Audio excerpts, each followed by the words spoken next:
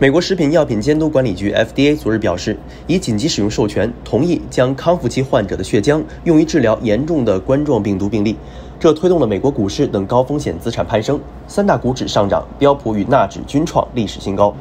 尽管该疗法尚未经过完整的临床试验，尚无确凿的证据证明这种疗法的有效性，但 FDA 认为，到目前为止的数据表明，这种制品可能有效治疗冠状病毒，并且该制品的已知和潜在益处超过了其风险。事实上，这一疗法已经使用了数月。美国梅约医疗中心自三月以来开展了相关项目，已经有七万多人接受了治疗。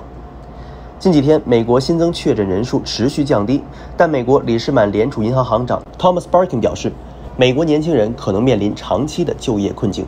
因为餐厅和服务业等直接面向客户的工作可能无法从新冠疫情当中完全恢复过来。因此，他敦促增加对美国劳动力的再培训。本周重磅的经济数据不多，投资者将重点关注即将举行的杰克逊霍尔全球央行年会。美联储主席鲍威尔在此次会议当中的讲话，可能进一步阐明美联储将采取的未来行动。